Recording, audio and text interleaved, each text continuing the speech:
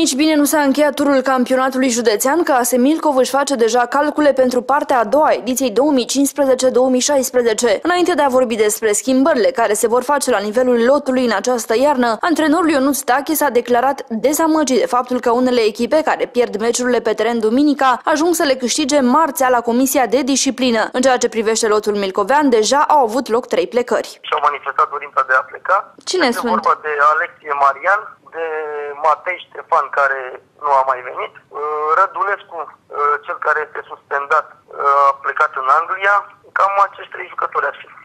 Pentru a ajunge la îndeplinire obiectivul propus la începutul campionatului, acela de a accede la barajul de promovare în Liga a 3 lotul echipei AS Milcov are nevoie de întăriri serioase. De asemenea, conducerea grupării de Liga a 4 a stabilit ca în iarnă jucătorii să beneficieze de un stagiu de pregătire centralizată la Baia de Fier, reunirea lotului având loc după data de 15 ianuarie. Programul complet pentru această pauză competițională va fi însă stabilit în următoarele săptămâni. Am spus de la început că avem nevoie de un portar, că avem un singur portar în echipă, mijlocaș și atacant. Să avem un lot uh, atât numeric cât și valoros la același nivel. Obiectivul rămâne același. Noi trebuie să avem un lot cât mai competitiv. În momentul când ajungem la baraj, trebuie să facem o figură frumoasă și, bineînțeles, să îndeplinim obiectivul să promovăm Liga 3.